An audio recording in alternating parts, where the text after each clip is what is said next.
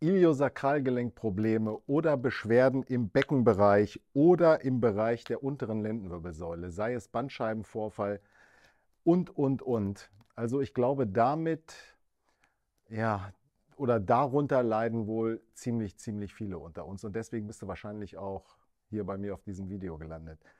Es gibt unfassbar viele unterschiedliche Beckenfunktionsstörungen. Das heißt, so eine der bekanntesten dürfte ja so neben dem Bandscheibenvorfall in der Lendenwirbelsäule sein, ähm, das sogenannte Iliosakralgelenk, ISG-Blockierung. Was man darunter versteht, da werdet ihr wahrscheinlich auch schon das ein oder andere Video gesehen haben. Wir haben hier auf der einen Seite einen Beckenkamm bzw. einen Beckenknochen. Wir haben hier auf der anderen Seite einen Beckenknochen und wir haben hier unten als praktisch Fortsatz der Wirbelsäule mehrere zusammengewachsene Wirbel. Das ist das Kreuzbein und ganz unten hier am Ende, da ist dann das Steißbein. Und die Gelenke zwischen diesem Beckenkamm und oder diesem Beckenknochen, wo hier dann die Hüfte noch äh, dran ist, beziehungsweise die Hüfte dran. Also wo der Oberschenkel hier mündet im Hüftgelenk und dem Kreuzbein, das nennt man dann Kreuzdarmbeingelenk oder Iliosakralgelenk. Und dieses Gelenk ist vielleicht gar keins. Es ist, sagen wir mal, so eine knöcherne Verbindung. Also die einen Mediziner sagen so und die anderen Mediziner sagen so. Also so ein richtiges Gelenk wie das Hüftgelenk ist es nicht. Es ist mehr so eine, so eine halbmondartige Platte, wo das Kreuzbein platt ist und auch das, äh, der Beckenknochen platt ist und das so aufeinander liegt und sich verwringen kann. Also mit jedem Schritt, den wir tun, verwringt sich, verwringen sich beide Beckengelenke. Und dann ist so die Philosophie dahinter. Es kann sein, dass das Becken in einer Position einfach mal verhakt, durch einen Unfall oder auch einfach so über Nacht. Und dann hat man entweder ein Ilium anterior oder ein Ilium posterior, das heißt, es ist nach vorne oder nach hinten gekippt im Verhältnis zu seiner normalen Position.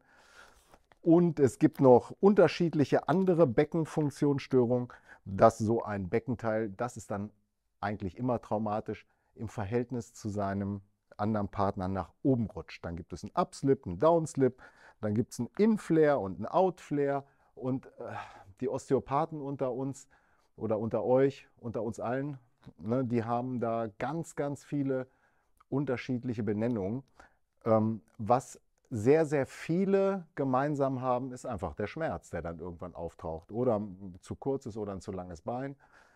Und deswegen bist du wahrscheinlich hier. Und jetzt will ich nicht lange schnacken. Es gibt nämlich unfassbar viele Übungen und unfassbar viele Videos zu diesem Thema Iliosakralgelenk, mach es dir wieder frei und so. Und abhängig von der Position, wo dieses Gelenk blockiert ist, hilft nicht jede Übung bei jeder Beckendysfunktion. Das heißt, dir wird es wahrscheinlich noch nicht geholfen haben, sonst wärst du ja nicht hier gelandet. Und ich weiß auch nicht, ob ich dir hier heute helfen kann, aber ich zeige dir heute eine Möglichkeit, bei der es komplett egal ist, ob das Becken nach oben, nach unten gerutscht, nach innen, nach außen, äh, sondern ich mache es wie häufig einfach einfach. Und dazu ähm, habe ich mir entweder mal mein Flossingband mitgebracht. Also wer ein Flossingband hat, so ein Medical Flossingband, kann es damit machen. Wer es nicht hat, nimmt einen kaputt geschnittenen Fahrradschlauch. Das heißt einfach so ähnlich wie bei meinem Video zur Baker-Zyste. Äh, ihr könnt den gleichen Fahrradschlauch verwenden. Das Ventil rausschneiden und ich habe das, den Fahrradschlauch jetzt einfach mal der Länge auch aufgeschnitten und ein bisschen gewaschen. Ihr müsst das waschen, weil hier drinnen ist ganz, ganz viel Puder oder Talkum oder was auch immer. Damit geht es mäßig gut, aber es geht. Und ansonsten, wenn ihr ein Flossingband habt, nehmt ihr halt das Flossingband. Da, das ist ein bisschen länger und es ist auch ein bisschen elastischer. Äh, es macht dann irgendwann mal, wenn ihr mehrere körperliche Gebrechen habt, macht es mehr Spaß, mit dem Flossingband zu arbeiten. Sei es Knie, Schulter, Becken oder Sprunggelenk oder Ellbogen das könnt ihr alles damit bearbeiten. Aber darum geht es heute nicht. Heute geht es darum, wie kriege ich meine Rücken- und Beckenbeschwerden hoffentlich gelindert oder sogar weg. Also ich gebe dir da jetzt kein Ehrenwort, aber die Wahrscheinlichkeit, dass sich dadurch was tut, die ist schon relativ groß, sage ich mal. So, und dazu ziehe ich dir, äh, nee, nicht dir, dazu ziehe ich mal meinen Pulli aus und dann zeige ich dir das, wie das funktioniert. Und dann sehen wir uns gleich wieder. So, da bin ich wieder. Ich habe mich mal etwas figurbetonter angezogen, damit du besser siehst, was ich gleich mache. Ähm, das ist jetzt zwar nicht sonderlich schick, aber naja, was soll ich sagen? Also, und man sieht auch, also diese Übung hilft halt auch Menschen mit einer Tofu-Rolle, so wie mir. Ne? Also so ein bisschen, wenn man hier noch nicht so, es schmeckt halt so gut. Und wenn es halt gut schmeckt, also wenn man mehr, also wenn es mehr schmeckt, als dass man es verbrennt, dann setzt das halt an und dann ist das halt so. Und das Schöne ist, das hilft schlanken Menschen und es hilft auch etwas angedickten und es hilft auch ganz, ganz dicken. Ähm, und ich zeige euch jetzt, worauf es ankommt. Ihr bindet jetzt praktisch eure beiden Beckenknochen zusammen. Irgendwo zwischen dem Hüftknochen hier. Ne? Wenn ihr hier so runterfahrt, dann merkt ihr hier, das ist so die ganz eminente Stelle da, wo, ne? also das ist hart, das ist Knochen. Und bei mir ist der obere Beckenknochenrand hier, also irgendwo zwischen Beckenknochenrand und dem Hüftknochen. Da wickelt ihr jetzt das Band drum. Und zwar immer mit dem Anfang zuerst. Das sieht in dem Fall, ich nehme jetzt erstmal das Flossingband, nicht weil ich unbedingt Werbung machen will dafür, sondern weil es einfach besser funktioniert und weil das Rot auch sexy ist so ein bisschen. Okay, Latex. So, ihr wickelt jetzt dieses Band einmal um euer Becken herum und zieht es jetzt richtig, richtig stramm. Und jetzt gut zuhören. Entweder nur vorne oder nur hinten. Also beim ersten Versuch macht es ruhig, dass ihr vorne das Band richtig stramm zieht. Das hat den Effekt, dass sich eure Beckenkämme vorne zusammenziehen und dementsprechend hinten auf der Rückseite sie auseinandergehen. Das entlastet das Iliosakralgelenk. Ob das dir hilft, werden wir hinterher sehen. Es kann auch genau andersrum sein, dass wenn man hinten zieht, dass das dein Problem da hinten, ich will nicht sagen beseitigt, aber mm, dass dein Problem da hinten dadurch besser beeinträchtigt, äh, beeinflusst wird. Positiv natürlich. So, jetzt haben wir noch ein bisschen Platz. Hinten schön locker und jetzt wieder vorne richtig schön stramm ziehen bis wir über diesen Kamm rüberkommen.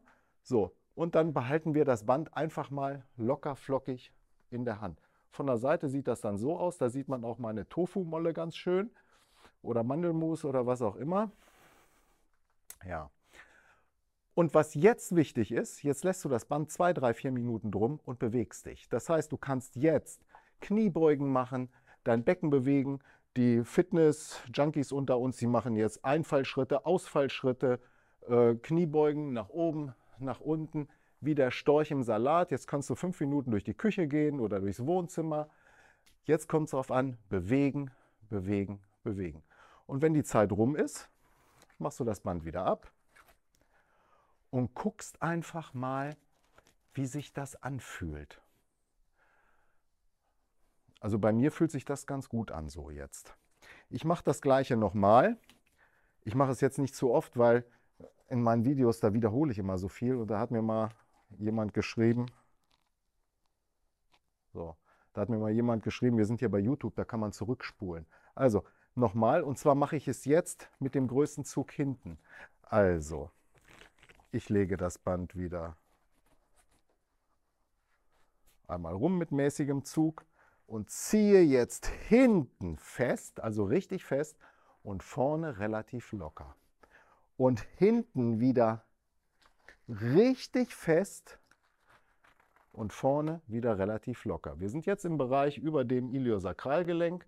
Das geht auch noch ein Tickchen höher und es geht auch noch ein bisschen tiefer. Das heißt, du kannst das gerne variieren in den Höhen und jetzt wieder bewegen. Ich habe extra meine Kniebundstrümpfe angezogen. ja, so.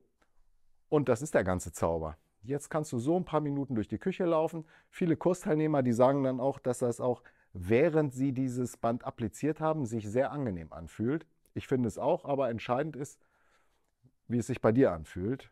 Und das, diese Übung kannst du immer wieder mal zwischendurch machen. Und abmachen und ach, so. Und jetzt das gleiche nochmal mit dem Fahrradschlauch.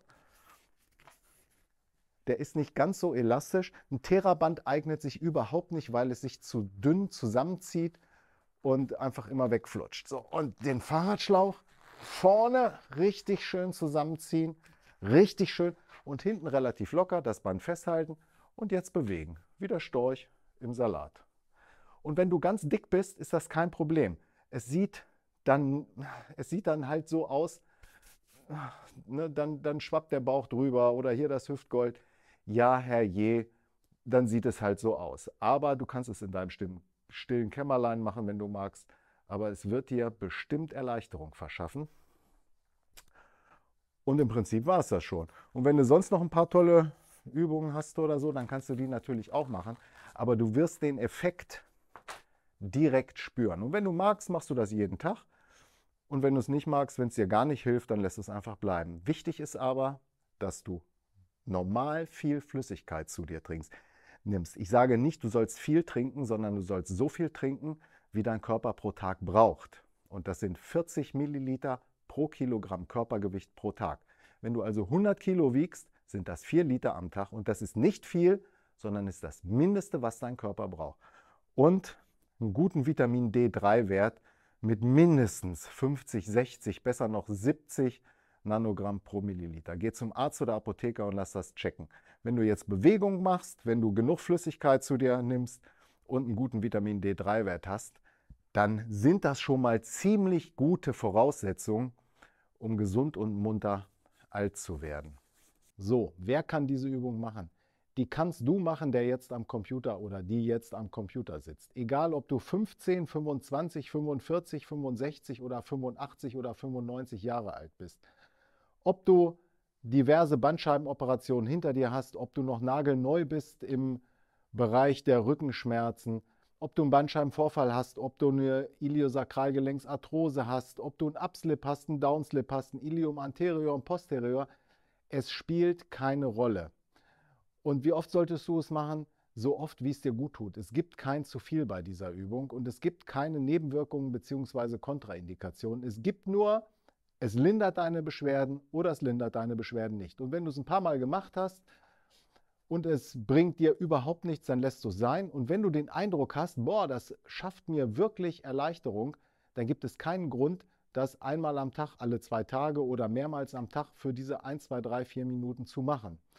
Ich habe so viel positive Resonanz von Patienten in den letzten zehn Jahren gehabt, ähm, die aufgrund dieser einfachen Gummibandübung so manche Packung Ibuprofen, Voltaren oder Diclofenac nicht mehr genommen haben. Und das ist das Allergrößte für mich, äh, nicht für mich persönlich, sondern das, das freut mich immens, dass man statt hammerharter Medikamente, die alle ihren Grund haben, also es ist wichtig, dass wir diese Medikamente haben, versteht mich nicht falsch, aber wenn wir so intensive Medikamente wie Ibuprofen, Diclofenac, Voltaren, Cortison nicht nehmen müssen, weil wir eine Übung ein- bis zweimal am Tag oder zehnmal am Tag oder alle paar Tage mal machen, das finde ich schon ist eine enorme Erleichterung, ist schon ein enormer Fortschritt.